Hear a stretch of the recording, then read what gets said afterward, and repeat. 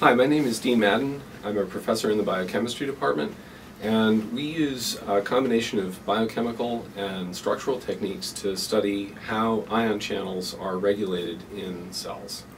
So it turns out that um, most, almost all of the work that's done in our lab is driven by graduate students. We currently have five students in the lab. We regularly have rotation students.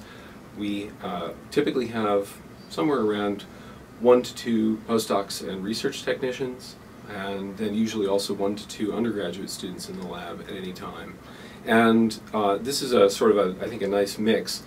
Uh, the, uh, the graduate students can, throughout their career, take on increasing responsibility, um, first working with, uh, you know, with me or with a postdoc primarily, and then as they become more independent, supervising undergraduates, um, and then doing that with increasing independence. The postdocs can you know, provide some, some training opportunities, but often come from other areas, and so they're often learning from the graduate students as well. And so, you know, again, that kind of emphasizes uh, the central role of the graduate students in the lab.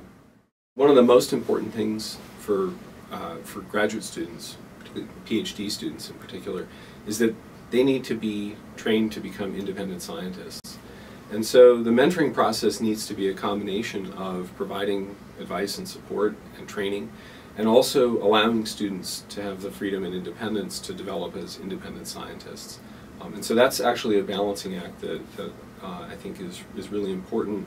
And again, there's a continuum of, uh, of, of, progression. As a, when a graduate student comes into the lab, they often uh, will need training because we do specialized techniques that are not often available in undergraduate labs. But as they become more familiar with those, I encourage them to uh, become increasingly independent. The most critical decision that a graduate student makes is actually the choice of their research lab.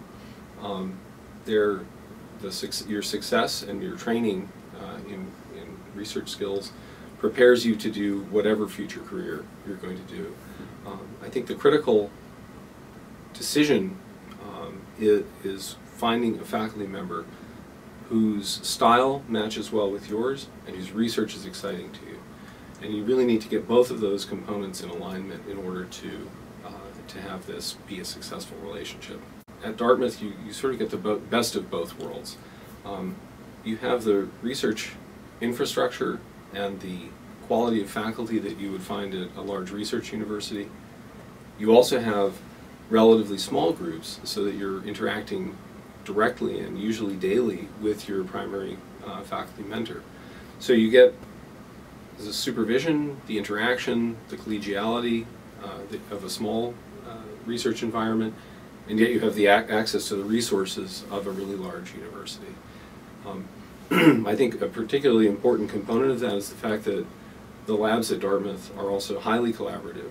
We've published with um, and worked with at least half a dozen groups on campus. Um, that many universities will tell you that they do that, but at Dartmouth it's really true, and you can look for evidence of co-publication as a basis for, for evaluating it. What that gives students is an opportunity to explore techniques that are outside of the core expertise of the lab that they're in at the same high level, but without having to go into a large, more anonymous uh, graduate laboratory.